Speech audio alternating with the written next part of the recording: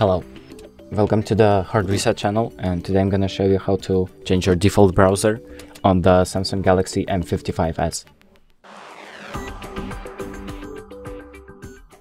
So the first thing you're gonna do is we're gonna open up options or the settings app and then we're gonna look up the default browser that you want to enable. So for me it's Chrome. So once we're in the app options, we're gonna scroll down to defaults and browser app. So we're gonna click on that, and here you have two, uh, inner, and here you have options of all the browsers that you have installed. So I'm gonna enable Chrome. I'm gonna turn it off, and now uh, every link that I click, uh, the Chrome browser will open, and that's it.